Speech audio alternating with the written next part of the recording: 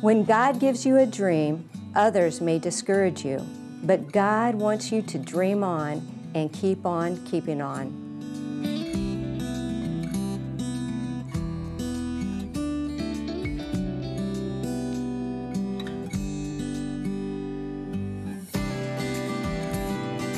At a very young age, Ernie's desire was to sing for Jesus, and he's been fulfilling that desire ever since.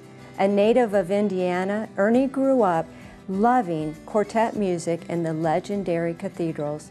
Little did he know that one day he would be part of that group and marry one of the legendary group members' daughter, Lisa. Later, he formed Ernie Haase in the Signature Sound, and his songs have earned Grammy nominations, Dove Awards, and Billboard Christian Top Tens. But in the face of grief, his message is keep on keeping on. This is his story of unshakable faith. This is today's Nashville. Ernie, it's so great to be with you on Music Row today. Thank you, Terry. It's a pleasure to be here with you. And it's so wonderful to, yeah. to meet you and a Hoosier. A fellow Hoosier, that's yes, right. Yes, Yeah, I'm, I'm originally from Newburgh, Indiana. And I've traveled the world telling everybody where's and they're all like, "Where's Newburgh?" you know what? People from Indiana, they're just wonderful, aren't we? Oh well, we are. we we got uh, a lot to be proud of in that state, and and it's just a good place to raise a family. Yeah. And so, tell me about your life growing up. Well, there in little Newburgh, Indiana, it was just everything was wrapped around church and uh, sports. You know, that I played baseball, football, and of course, you get this because you're a Hoosier. Mm-hmm. Uh, every driveway had a basketball goal. Yes. And so it's not like there was one that we just shared. So everyone had one, and uh, it was so all was basketball. it was basketball, and and then we'd set up uh, some little floodlights, and we'd play all night long. So, yeah, it's just it was a great way to to, to grow up, and uh, I, I, guess was we were we were sheltered, you know, from the world, uh, and, but you know, um, that's just I just cannot thank my parents enough for, for raising us that way and, uh, and seeing the value in it. And they're still there. My, and my brother, Are they're they? still in Newburgh, Indiana. And so I still call it my home. They're my people. And, uh, and so it's just, um, a, and a great way to learn music too. Uh, they, there was a lot of different types of music in our high school. And so I still, I talk to my high school um, music director. She's 92 years old now, wow. Mrs. Kathy Ewing. And, you know, so there was church music, there was uh, choral music, there was barbershop. Uh, I was in a 50s doo wop band. Uh, you name it, I sung it. But I, I gravitated towards the gospel music. Well, I read that you knew that you loved gospel music at the age of eight. Yeah, well, music was always in our house. We, we would do things at our, at our house called cottage prayer meetings. So that was when revival was coming to our church. We'd always gather at our house, and there would be prayer meetings to pray that God would just bless it and anoint the service, and, and pray for anybody to, that needed salvation. You know, so we'd have those times, and I was always the one. Hey, Ernie, lead us in a song. You know, so I'd stand on the piano bench and start singing "Victory in Jesus," and so pretty much. Uh, after that, they would say, "Okay, Ernie, that's enough. Go away," because I would never. I put on a concert for him, you know but yeah, that's gospel was where I gravitated towards, and the story goes. This is the condensed version. Um, second grade, I came home from school. Of course, I don't remember this, but just out of my mind with horrible headaches, mm-hmm. and I had a really bad case of spinal meningitis. They had to do three mm. spinal taps oh, no. in one day, so it was just. Uh, a difficult time for my parents, especially. Mm-hmm. Uh, but I do remember being in ICU and all that, and um, God touched me. I, I, came out of it with no side effects, just a little loss of hearing in the right side here. And my mom said there was a day she, I came up to her and said, "Can I sing for Jesus?" She said, "Yeah, absolutely." She said, and he, I said, "No, I want to travel. That's what I want to do with my life. I want to sing for Jesus. And, uh, so you made that, that decision at a very young age. Yeah, something something happened. Uh, I think it was because of those prayer meetings, mm-hmm. and then at church singing, and then we'd always go to nursing homes and we'd sing. I just think I like the connectivity of mm-hmm. being able to not only perform but connect people to Jesus, and so and so that given my life to that. I'm going into my 34th year of touring singing and riding and singing for Jesus. Yeah. Tell me when you made the decision to follow Jesus at a young age. Was this at the yeah. time? Yeah, I think it was about um, age five or six, and uh, and I, will tell you, I've doubted this because as you're older, you you know a lot of times mm-hmm. pass. You, there's some things you may have forgotten about that decision. Mm-hmm. But uh, I was five. I was in Sunday school and I gave my heart to the Lord. And I doubted that decision. It's just not fair to judge a five-year-old's decision because it's it really is a pure. I, th- I, think a lot of people. You're, you're right. They they'll say, "Oh, do they really know what they're doing?" Or yeah, you know. And then I self doubted. Mm-hmm. We uh, this was probably 12 years ago. We were doing a, a Gaither videotaping at the Cove in Asheville, North Carolina. I had mm-hmm. just mm-hmm. read um, Mrs. Graham's book. You know, and she was raised in a Christian home, and uh, she said there was never a time she didn't know Jesus.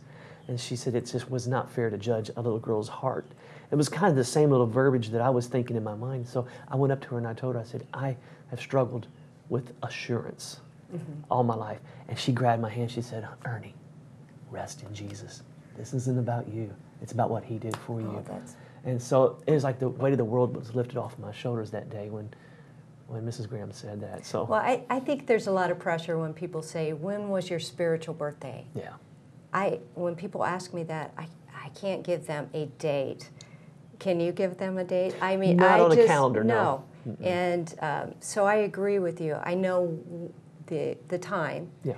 But I, I don't have a spiritual date, and sometimes people look at you like, well, don't you remember? And I, well, we're not widgets. I mean, everybody's I love, different. But I love, you know what um, Mrs. Graham said. Mm-hmm. Yeah. Well, like I said, we're not we're not bots, you know. Mm-hmm. So so everybody's personal decision to follow Christ is just that. Mm-hmm. It's personal, and mm-hmm. so um, that's my story, and I'm I'm glad I have that story. God has um, allowed me to to go tell that story to a lot of people, and and I tell it to young people when we do uh, those kind of events, and I just say, hey, listen, you can go and you can spend your life trying to figure it out and then have a lot of regrets and a lot of scars and a lot of emotional baggage. Um, I've never known anybody that said, I wished I'd waited to give my life to Jesus. So if you're five, six, seven, come to Jesus. You'll never regret it. No, that's a great message. What happened after high school? Well, after high school, well, I had a, uh, I had a partial music and baseball scholarship. So I pursued that. But in the back of my mind, I was just, I had heard a quartet and it was called the Cathedral Quartet. So I was 16, 17 years old when I heard them. So everything was being formed by that that fateful night when I heard them because that was the culmination of wanting to sing for Jesus, wanting to perform, loving to wear a suit and tie. I mean, those guys were the embodiment of everything that I wanted to do. And so, uh, so after you know a year of, of school, um, I got a call from the Cathedral Quartet of all people and said, "Hey, we followed you, we've heard you, and and um, we're going to have to make a decision on on a new tenor vocalist. And would you consider singing with us?" Oh man, it was like, that, and that was seven years after I first heard them. So I prayed that night at 16, Lord, let me sing with them. And then that night they called, He answered my prayer. Seven years later. So God's delays are definitely not denials.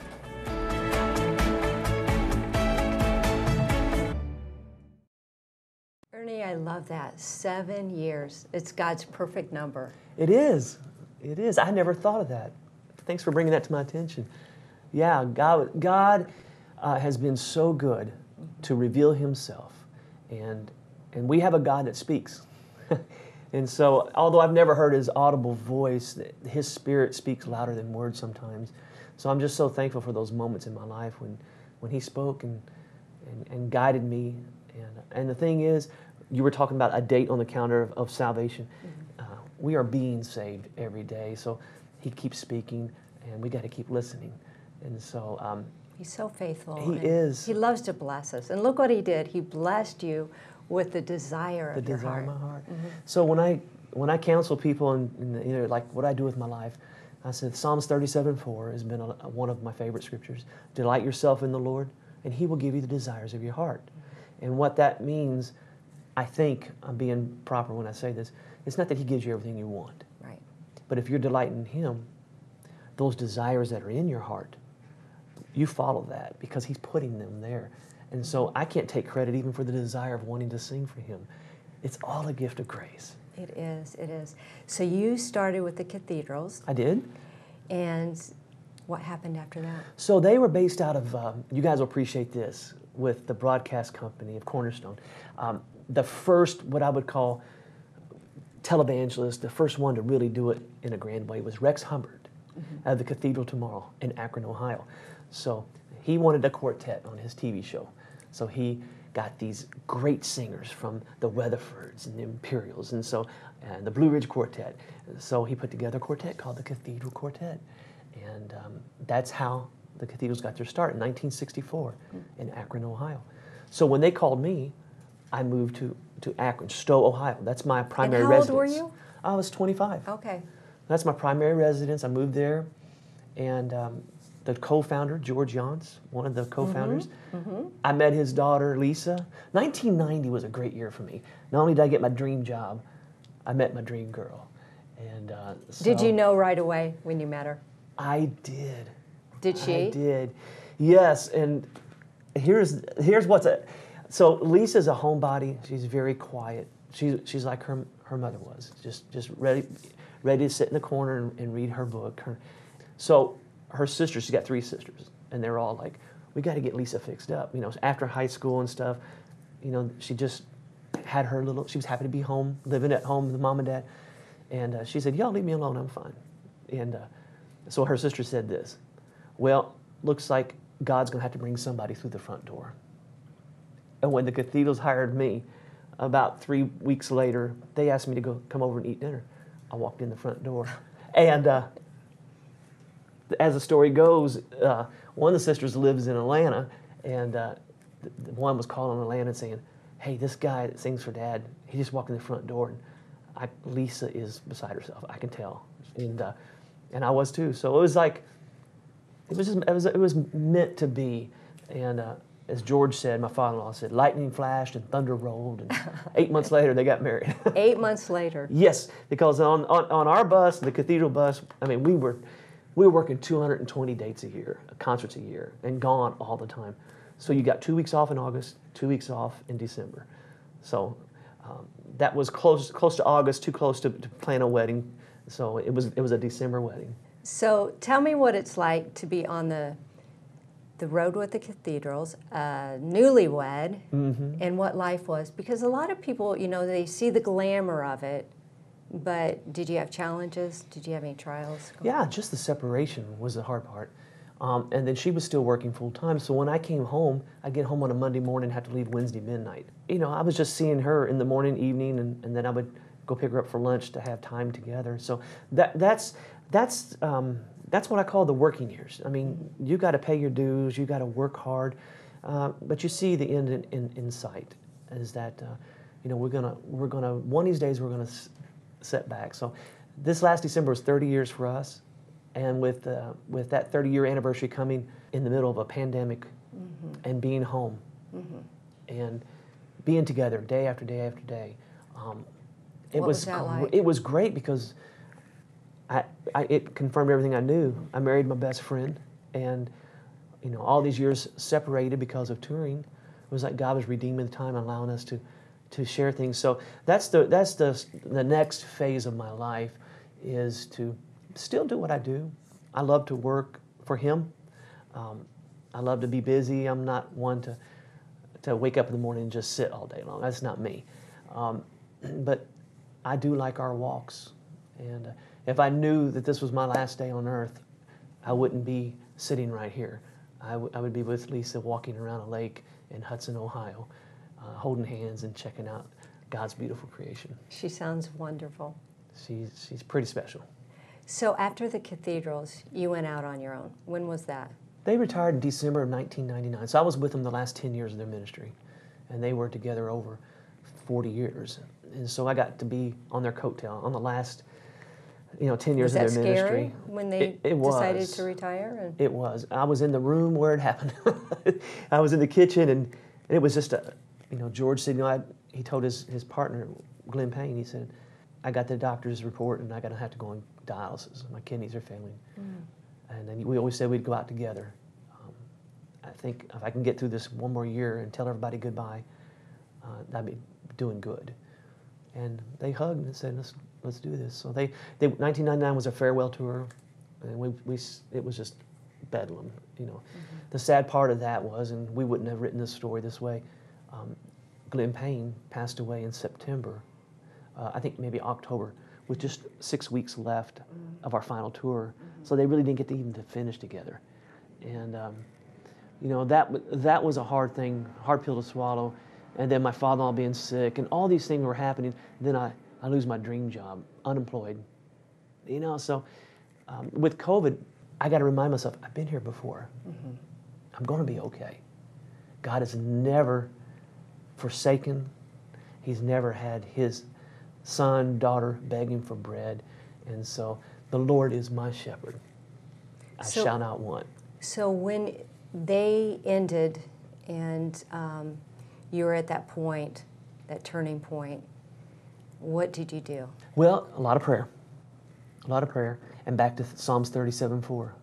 You know, what do I want to do? What's the desire of my heart? And after having such a great run with cathedrals, how foolish of it, me to think that I could start a quartet to, and do anything of value compared to what I just did. But in my prayers, I kept hearing the Lord make harmony, keep making harmony.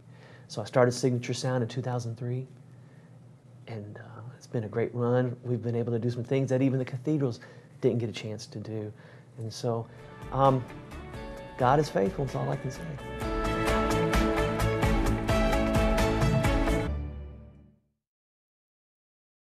I love how God works. You started Signature Sound. Tell me about it. Ooh, well, to have, I sing first tenor, all right, so that's a demanding position in a quartet, Southern Gospel Quartet especially. And then because of, uh, you know, owning the group and starting the group, I'm the front guy, so I'm, I'm, I'm emceeing, so there's really no break in between there. And so um, it's been an adjustment period. And then also to lead, you know, mm-hmm. when I was with the cathedrals, I wasn't a leader. I was an employee. I was a young guy. You know, I was following the guys' examples. And now I had to grow up, quit being such a, one of the guys, so to speak. And But so you had great mentors. I, I did, but I, I kind of fought it, and people should know that, you know. And people have spoken into me and saying, "You're, you're a really good leader, Ernie, or you're a visionary, or you got ideas." I don't see that about me. It's just, I'm just doing me. I'm just going out, and just waking up every morning, just doing what I do. But the responsibility of owning a group, managing a group, emceeing, writing songs, all like that, it got really heavy really quick. And so there were some times where I just needed help. I needed spiritual guidance from somebody who could who could give me, give that to me. And so there are people who who see us and see what we do, and they think, you know, well, maybe we got a, a corner on the market of joy and happiness and, and hearing God's voice. It's it's like Jacob. It's a wrestling match, and you got to keep wrestling. You got to keep wanting to know God, and you want got to keep wanting to be more like Him. And it's like Jesus said to the guy at the pool, "What do you want?" I want to be well. Okay. And so uh, I've enjoyed working together with Christ, working not only on my craft, but letting Him work on me. That's that's kind of where I'm at. And nothing teaches you more than loss, sorrow, And trials. And you've had some of that in your life Absolutely. recently. Yeah, we've lost. It's been a season of loss these last five or six years. Uh, I s- I spoke how close my family is. My wife lost her sister and lost two of her sisters in the last few years, and it was very quick and very sudden. And then her mom during this past year of COVID uh, passed away. And then loss comes in different shapes and forms. Yes. I lost my job again. you know, I for a whole year we were not touring. How did you handle that? Uh, some dark days. Um, you know, my primary residence is in Northeast Ohio, and uh, And those of, who are from that area know that we don't have a lot of light in January and February. So there was a lot of dark days, figuratively and literally. And just talking to the Lord. And, uh, you know, I just felt Him say to me, keep on, keep on, keep on on. If you got one more breath, take one more step, rise up in faith. So God started pouring His light into my heart and my life. And usually when that happens, a song's about ready to be written, you know. So, um, Well, tell me about keeping on. yeah, so we got in the studio recently and recorded 14 new songs that I had a chance to help write, the majority of them, and they came from those dark days. So let me just say this the, the songs aren't, are not dark, uh, they're the light that God shed in my heart. Um, but they came from some dark times. Keeping On is the new record. The title song, uh, Keep On, Keep On On, is a, um, is a message that I share to, to God's people. Can you sing a few? Well, every line in the first, I don't, I'm not featured on the song, but let me see if I can, if I can. The first, the first verse are lines that I have quoted to my family this past year. These, these are some dark days. We've had some heartache, more than enough. Hmm. Long, long are those cold nights. Feels like there's no light. The fear says, give up. But I'm here to tell you, keep on keeping on. I'm here to tell you, God will make you strong. If all you've got left is just one more breath, rise up in faith, take one more step. I'm here to tell you, keep on keeping on. Oh, Ernie, that is beautiful. That is beautiful. And I know you're speaking to people right now listening because we have been in dark days. So, your new songs, Keeping On, are they out? They had just released a few weeks ago, and of course it's in retail stores, but uh, you know, however you stream music. But um, one way that I would encourage, in, in our website, but what happened with this record? There's a song on there that I wrote. It's very upbeat. It sounds like a '70s sitcom. It's called "Good to Be Home," and so I got to thinking on those dark days. Uh, the Lord kind of just spoke to me and said, "Methods and means change." my message remains the same feed my people. So I sat down in front of my iPhone camera one Friday night and went on Facebook Live and said, How are you doing? Hey. I have watched some. So did you watch some of Yes. those webisodes we did? Yes, with all the guys. Yeah. And yes, I did. So after 33 years of touring and singing literally around the world, sitting in our living room, we sang to more people in one week than we could have in two or three years. The effectiveness of the gospel during all of that. So, um, because of the Keeping On record, because of the Good to Be Home song that's on that record, uh, this fall we're going to launch another season of those webisodes called Good to Be Home with Ernie Haase's signature sound. Same format, same structure, but now it's not about COVID and lockdown. It's about, listen to this, it's about changing culture. You do not change culture mm-hmm. by screaming or by rules or laws. You change it one home at a time. Love begins at home. Forgiveness, Oh, we need that message understanding, so bad. listening, mm-hmm. all those things begin at home. And so, as the song says, it's good to be home. If you can't say it's good to be home, let's fix that first. Let's let Christ come in and change that culture. And then I believe that's how you change the world. So where you're on YouTube, and then on your will it be on Facebook or Yeah. where are you going to stream? So if you go to my website, you can find our platforms. YouTube, I always air it on, on YouTube and Facebook Live, and then um, we're getting some networks, some some cable networks. We're getting people uh, asking us if they could broadcast it. So one of the reasons I don't, we're not calling it Friday Night Sing anymore. We're re- rebranding it as Good to Be Home, is because some of these people who are asking saying we can't air it on Friday. Would you change the name? So I was like, oh, after all that work. But when I wrote the song Good to Be Home, I'm like, okay, that's that's how this is going. So everything's unfolding right now. I don't know how it's going to end, but uh, it's a new season for me and a new way to share the old old story that never grows old. Jesus saves, and Jesus and God and the Holy Spirit together can be trusted with everything in your life. Ernie, you are a blessing. Oh, and I just want to thank you for encouraging people to keep on. amen. My friend, are you facing dark times in your life? I want you to know, just like Ernie said, that God is faithful. Amen. Take his hand and let him guide you through, and so that you can keep on and share your story of unshakable faith with others that will give him honor and glory. This is today's Nashville. This is faith.